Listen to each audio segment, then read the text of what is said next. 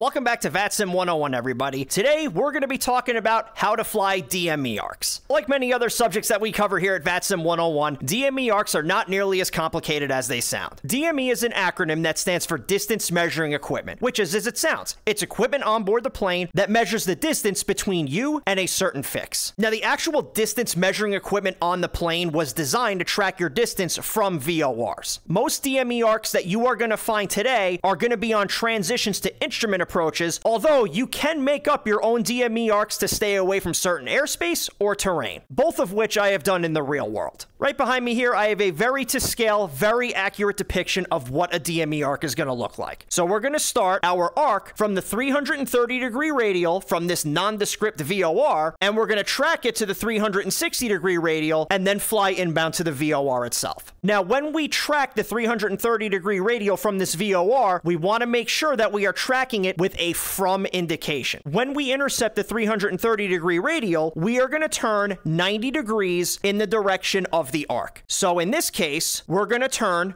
to a heading of 060.